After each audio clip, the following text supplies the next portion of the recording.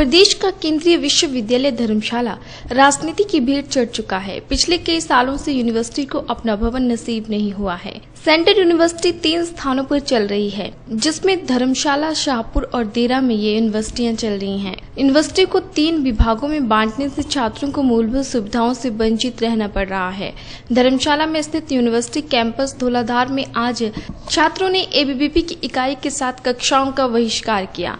छात्रों का कहना है कि धौलाधार कैंपस में मूलभूत सुविधाओं का अभाव है, कुछ कक्षाएँ तो बॉयज़ स्कूल में लग रही हैं। पानी और शौचालय की व्यवस्था भी नहीं है। छात्रों का कहना है कि जब कैंपस का अभाव था तो शाहपुर से धर्मशाला में कक्षाओं को क्यों स्थानांतरित किया गया?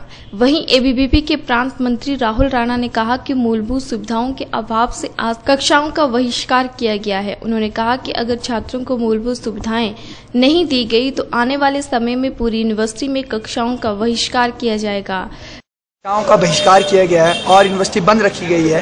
वैसा ही जो है, आगे आने वाले समय में अगर यूनिवर्सिटी हमारी मांगों को नहीं मान, मानती है, अगर मूलभूत सुविधाओं को पूरा नहीं करती है तो आने वाले समय में जो है पूरे यूनिवर्सिटी की शिक्षा तब तक बंद रहेगी जब तक जो है इन सुविधाओं का जो है हमें पूरा सुविधाओं को प्रोवाइड नहीं किया जाता है। और साथ ही जो है, वो यूनिवर्सिटी वहीं यूनिवर्सिटी के बीसी कुलदीप अग्निहोत्री ने कहा कि छात्रों को एक हफ़्ते के अंदर तमाम मूलभूत सुविधाएँ प्रदान की जाएँगी। उन्होंने कहा कि हमारे पास अभी अपना भवन नहीं है और हमारा प्रयास है कि हम छात्रों को तमाम सुविधाएँ देने की कोशिश करें।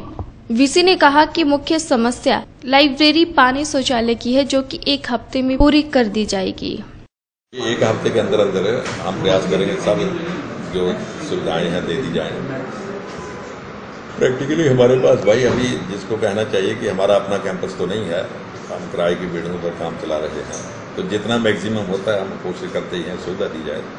लेकिन फिर भी बहुत सी सुविधाएँ हम नहीं दे पाते। हैं तो हमारा प्रयास रहेगा कि जो मुख्य बातें उन्होंने कही हैं और उनको सप्ताह के अंदर अंदर पूरा किया जाए। हमारी कोशिश रहती है, सभी सुविधाएँ प्रदान की जाए। कक्षाओं के बहिष्कार